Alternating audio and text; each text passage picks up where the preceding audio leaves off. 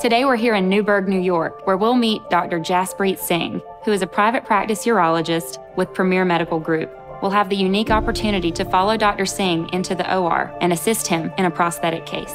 We'll also meet his patient Robert, who is a construction worker in New York City and has become a quiet patient advocate for IPP surgery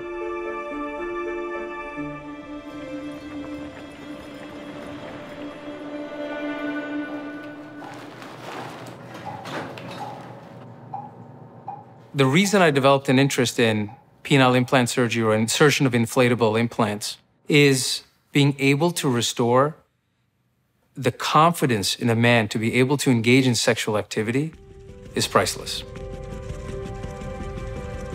I mean, these are probably the happiest patients that I have. Being part of the success story is selfishly probably the biggest ego booster that I have. And that's, again, one of the reasons why I love prosthetics, right? Because at the end of the day, you're treating a person, not just a disease. I go horseback riding. I uh, ride quads. I enjoy just being out there, and it's a lot of open space. Probably about five years ago, I started to realize that something was wrong.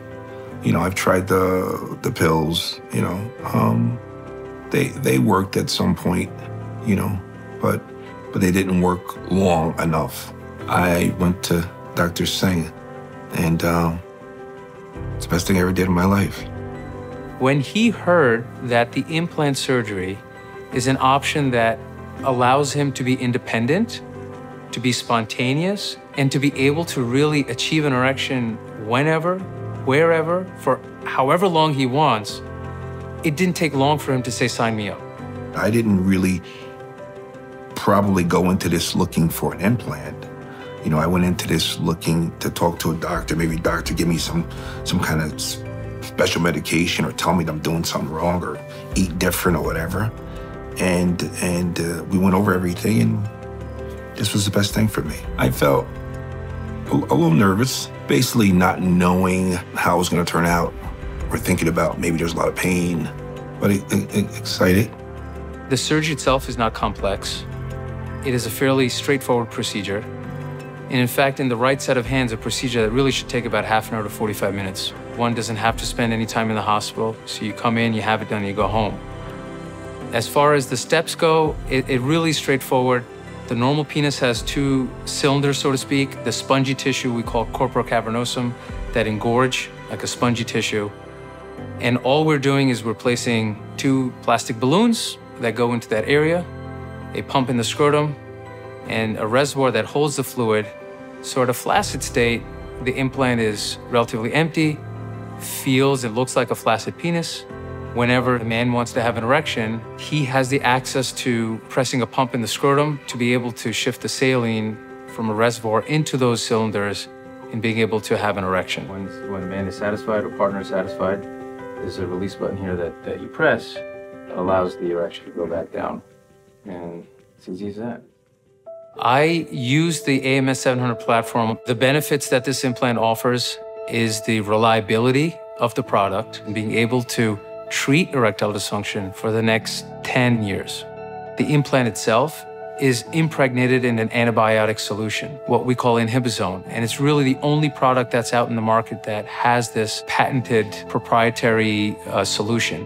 And that is important because it has taken the risk of infection of an implant surgery and has significantly lowered it because that, that InhibiZone allows a zone of protection for weeks to come after the surgery. From a patient's expectation to be able to restore an erection to as normal as it was before, I think that this implant offers that. And that's really what we're trying to do when it comes to implant surgery, is we want to get to as close of a natural state as possible. And that's what the AMS 700 really provides. I still lift weights. I, I ride the quads, I go horseback riding, I run on a treadmill every day. You, you don't even know it's there. It's a wonderful thing. You know, it's comfortable. It really changed the way I felt about myself. You know, it, it, it, it changed me completely. It really did. I want to scream and say it works great. the way Robert recovered physically and emotionally is how pretty much every patient recovers. The initial nervousness, all the way up to surgery, the sense of relief right after surgery, to then, doc, I should have done this earlier. And that, that really is day in and day out of, of guys who undergo the penile implant experience. I really enjoyed spending the day here in Newburgh with Dr. Singh. He took the time to walk me through his surgical planning process as it pertains to patient counseling, his use of patient advocates, and modeling the devices in the office preoperatively to the surgery itself. He's built a really beautiful practice here in his hometown, for which he should be very proud. Surgery for erectile dysfunction is not a foreign concept. This is a viable solution to a common problem. We'll see you on our next episode of Hard.